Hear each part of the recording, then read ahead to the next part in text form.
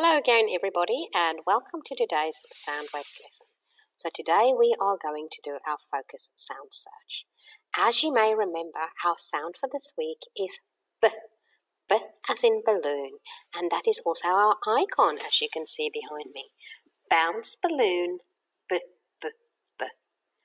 Okay, so today we are going to be looking for pictures of objects that starts with B. So let's look have a look at how we can be a successful learner. I will know I'm a successful learner if I can hear B at the beginning or end of a word, and if I can name the object starting with B or any other objects that has got B in the word. And that is especially our challenge for our grade one learners to make sure that we hear B at the beginning, but also in other parts of the word. So, just like last week, I am going to give you a minute to have a look at the picture and to find as many B words as you can. So, when I say pause, everybody pause your video. Pause. Okay, welcome back. How did you do? Let's see what we found. Now, first of all, I found lots of blue, b blue. I found a blue butterfly and a blue bird and a blue hot air balloon. There is also a bee, B E E. That one's for you, Eddie. And there is a bug or a beetle. Here I've got a baby sitting on a bed in a box holding a balloon. Here we've got a tub. Our B is at the end. And there's a crab. B at the end again, sitting in the tub. And there is a balloon on the tub. A blue balloon. Here we've got a basket with a bear and a baby bear. The baby bear is wearing a bib and eating a banana. And there is a bat hanging from the balloon. There is also a bin and a ball. And here we have a bull reading a blue book about a bus. There is a string of bells hanging off the basket and a bicycle. And there is a bag with a corn on the cob. Once again, a b at the end.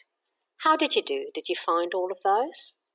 Now, today I want to work with you on the next part of our learning intention.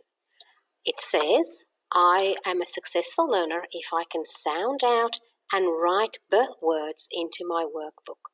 So let's do a couple of short words, three sound words together. So let's start with this one here bat, bat. Let's sound out bat. B, a, t, bat.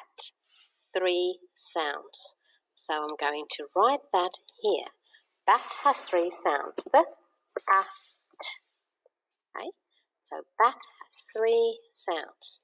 And um, it also has three letters. Let's just change that a little bit so that it looks like the rest of our writing. Okay, and so that we can see it. It's yellow at the moment.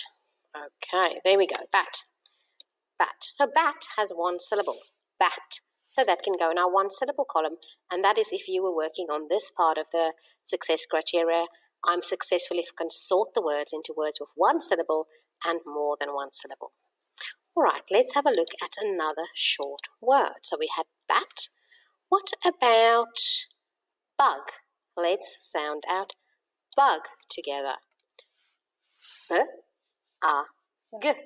Three sounds and three letters. These are known as CVC words. So we're going to type bug here because bug also has one syllable. Bug. B, a, g. One syllable and three sounds. Okay, there we go. Now your challenge is going to be to find some more words that you can sound out by yourself. And once you've done that, have a go at a bit of longer words with more than one syllable because syllables help us sound out each part of the word and then to put it all together. Like, for example, butterfly. Have a go at that one. That's all we have time for for now. See you again tomorrow. Bye.